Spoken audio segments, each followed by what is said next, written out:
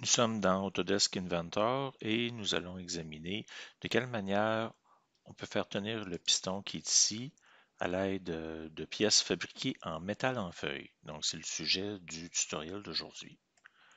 On aperçoit donc ce piston qui euh, devra, la tige devra avancer, mais aussi le piston devra être en rotation sur, euh, ici, euh, vu de dessus, la tige devra pouvoir bouger. Donc, ça nous prendra un pivot qui est environ ici. Alors, euh, pour résoudre ce problème, ce qu'il faudra faire ici à partir de l'écrou, c'est de fixer une première équerre. Et puis sur cet équerre, on va faire un trou qui va permettre la rotation. Ça servira de pivot. Donc, c'est ce que je vais vous montrer aujourd'hui. Pour faire une pièce en métal en feuille, euh, on n'a pas ici le bouton. Donc, ce qu'on va faire, on va dire Fichier nouveau. Puis on viendra choisir tôle ici. Donc, je vais travailler en métrique. Donc, je vais me faire une première esquisse. Ce sera la vue ici qui me servira à fixer la tige du piston. Alors, ce que je vais faire, je vais faire un, premier dessin, donc euh, une forme simple, ici comme ça, disons 6, 60 euh, par 60. Tiens. Je vais rééditer par la suite. Puis euh, ce piston, il est tenu ici, j'avais mesuré 0.625 euh, pouces. Donc je vais dire 0.635, un petit peu plus, IN, afin de permettre au piston de pouvoir se fixer. Donc euh, ici, très visiblement, c'est beaucoup trop gros. Donc je vais modifier mon esquisse. Je vais y aller avec un décalage, tiens. Et je vais agrandir un petit peu le cercle.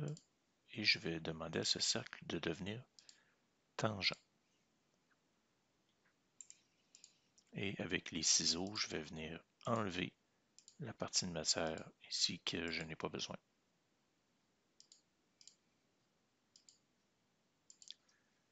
Donc, c'est peut-être un peu trop gros pour tenir ce piston-là. Donc, je vais y aller plutôt avec 40.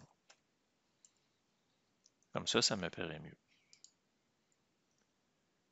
Donc, euh, je vais créer une face. C'est celle-ci. On voit l'épaisseur par défaut de la tôle. Cependant, je dois la définir en fonction du matériau que je vais utiliser. Donc, euh, la tôle, en fait, nous, ce sera de l'aluminium. Donc, je peux ALU, aluminium. Et l'épaisseur de l'aluminium, très précisément, nous, c'est 0.125 IN, un huitième de pouce. Comme c'est ici. Donc, le piston va passer ici dans le trou. Et ce que j'ai besoin, c'est de pouvoir ici faire un pliage. Donc, je vais faire un barre tombé, puis je vais sélectionner l'arête, comme ça ici. Puis je vais venir dire la longueur que je souhaite avoir, soit, disons, 40. Puis je peux sûrement ici faire des arrondis à mes coins. Donc tout à l'heure, j'avais 40. Donc si je plaçais 20, je crois que j'obtiendrais un demi-cercle. Oui. Donc, euh, je vais ici faire un perçage sur euh, une géométrie ici que je vais tenter de localiser. Disons ici. À une distance connue, disons Ah, par rapport au centre, donc euh, disons 10. Et euh, je vais venir faire un perçage. Disons pour un boulon un quart de pouce, on va dire 0.26 in. Ma première pièce devrait fonctionner. Je vais aller sauvegarder ça sous le nom attache piston.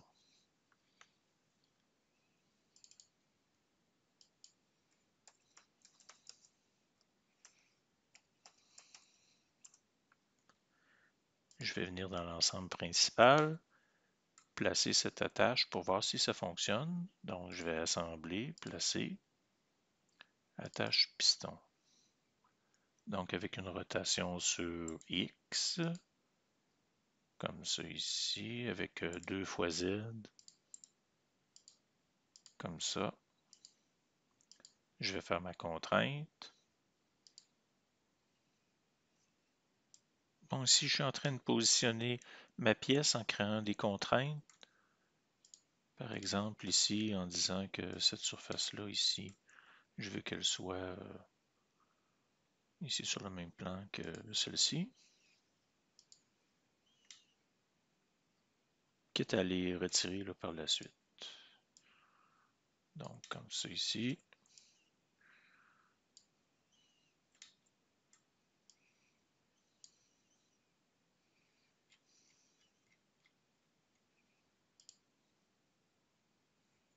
Pouce, c'est peut-être excessif.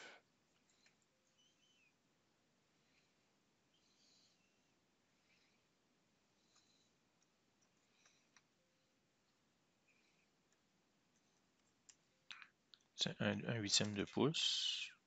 Ça me paraît correct. Donc, imaginons que mon piston, je le place ici comme ça.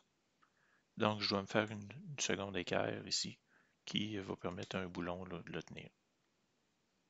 Donc, la seconde équerre, je vais créer à nouveau ici une pièce en tôle.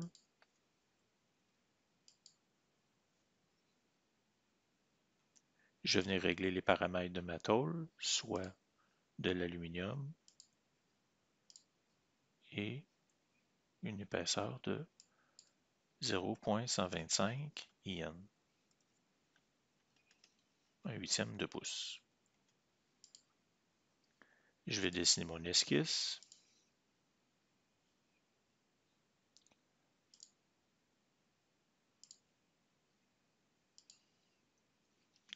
disons 40 par 40, avec, comme on l'a vu tout à l'heure, un cercle qui venait ici se placer de manière à tomber tangent. Je fais ma découpe.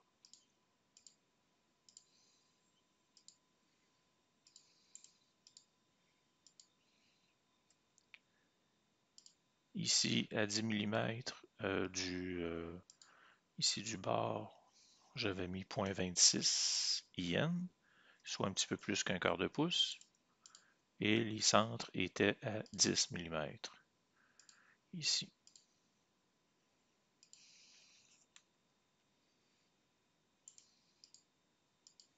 Je découpe ça ici.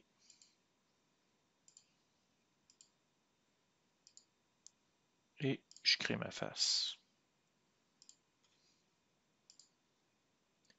Donc euh, ici maintenant, je dois tourner vers le haut afin que ici mon rebord puisse s'accrocher après le 20-20.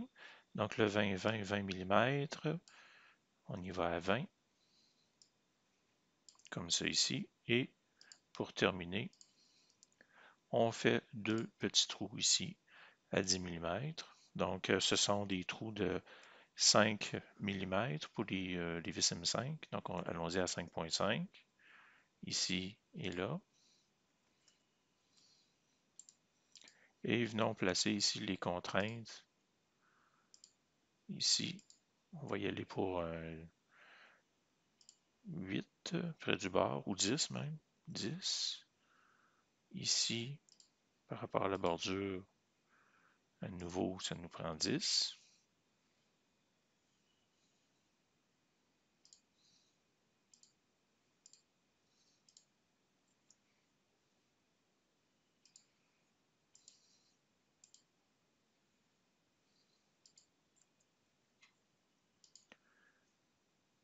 Donc, je vais faire une ouverture.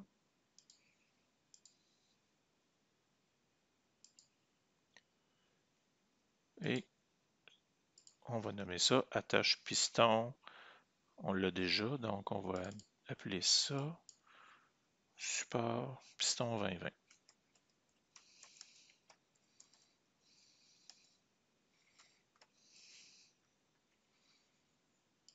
Bon, allons voir dans l'ensemble principal comment est-ce que ça va se placer.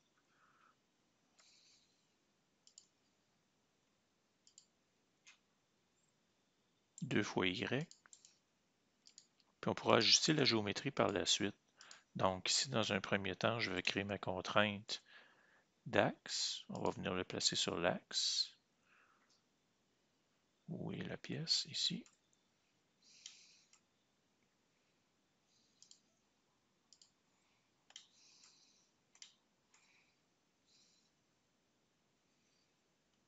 Là, je dois trouver la fameuse pièce dans l'espace.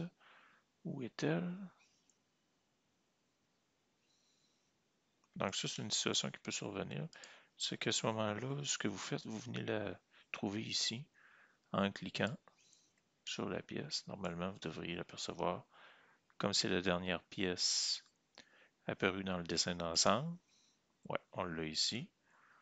Donc, je la remonte légèrement.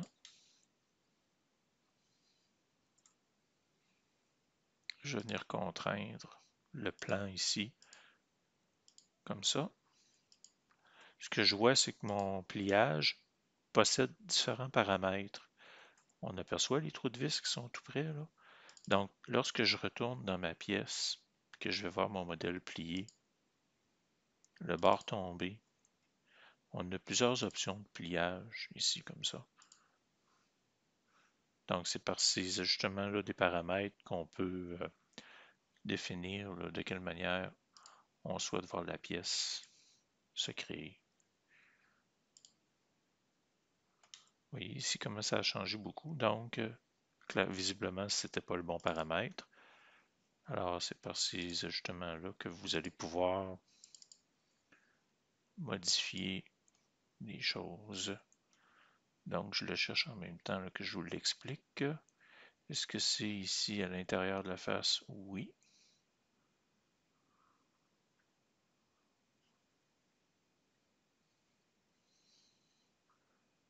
Est-ce que c'est 23?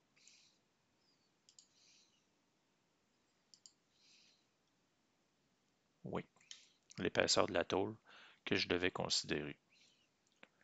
Donc maintenant que j'ai trouvé la solution, tout ce que je vois ici là qu'il me manque, c'est le boulon.